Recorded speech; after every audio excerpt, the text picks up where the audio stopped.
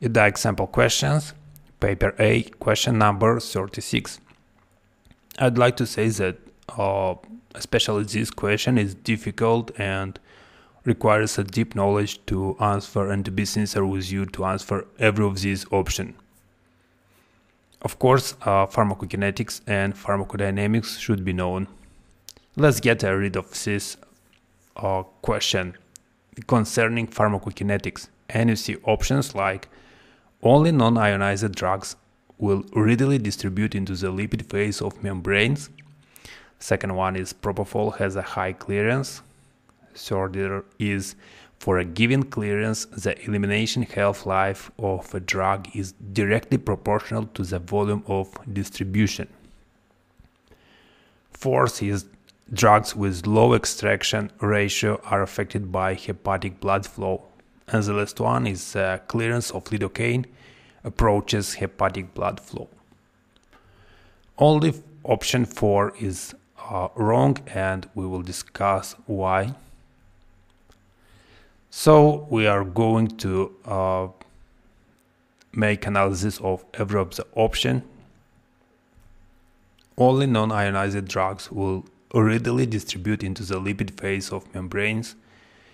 And as you know, membranes have uh, a lipidic uh, dual or two levels of uh, lipidic uh, wall.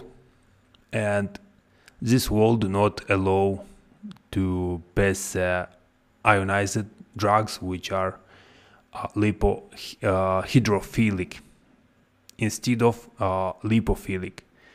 And it results that non-ionized or uh, lipophilic drugs or substances can uh, distribute or diffuse through the lipid membranes. Second one, propofol has a high clearance.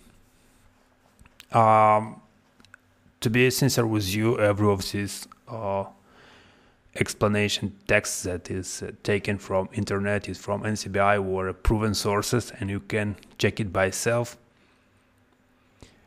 Uh, liver is very efficient at propofol metabolism with a blood extraction ratio of 90%. It means that liver taking part of most of uh, propofol uh, metabolism and the mean clearance of propofol is around 2.2 liters per minute, which is higher than the total liver blood flow.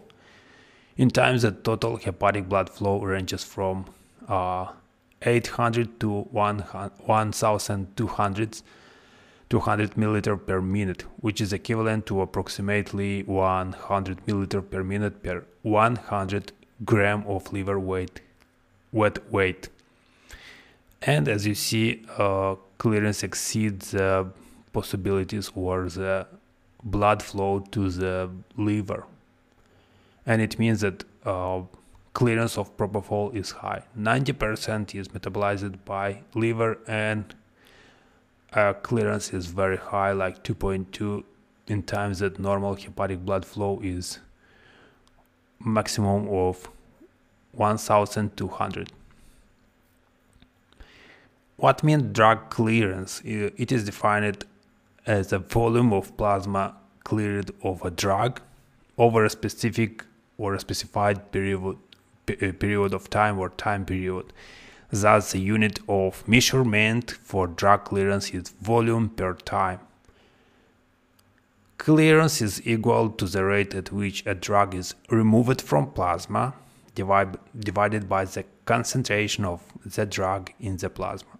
So amount of drug removed from, from plasma divided by the amount or concentration of the drug in the plasma.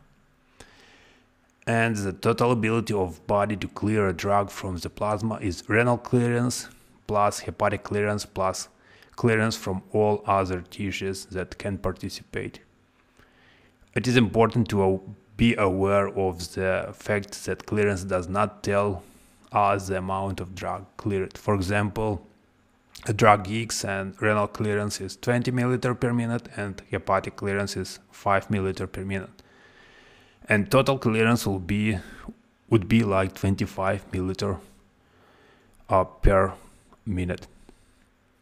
A third answer, like for a given clearance, elimination uh, half-life of a drug is directly proportional to the volume of distribution. So elimination half-life is the length of time required for the concentration of a particular substance to decrease to half uh, of its starting dose in the body. So most clinical relevant drugs and most of the drugs tend to follow a first order pharmacokinetics. What does it mean? It means that uh, their drug elimination rates are proportional to plasma concentration. Plasma concentration is high and uh, drug elimination rate is also high. In contrast, a few drugs only uh, follow zero order uh, kinetic elimination in which um, the amount of drug decreases by a constant amount over time, regardless of initial concentration.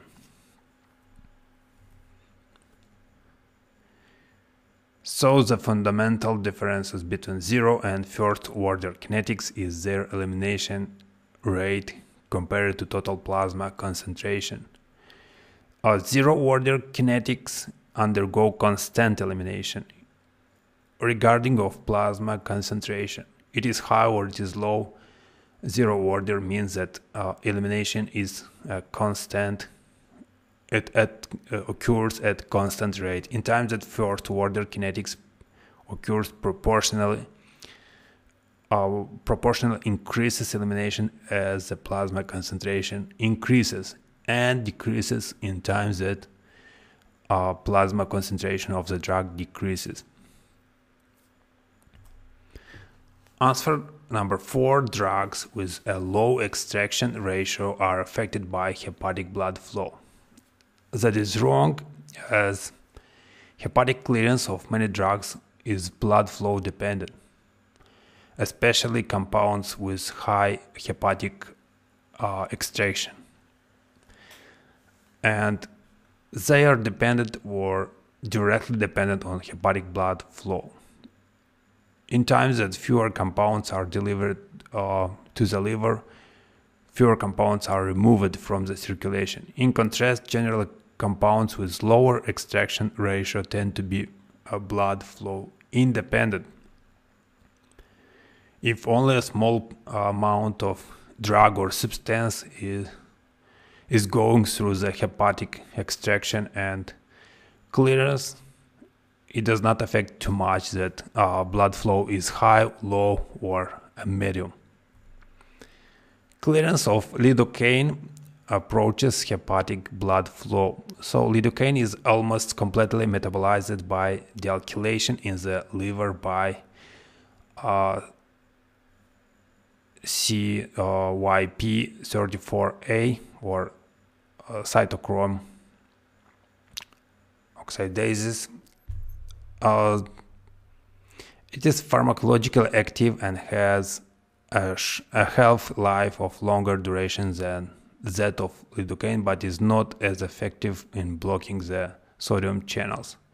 I mean, uh, metabolite, which is monoacyl glycine oxylidia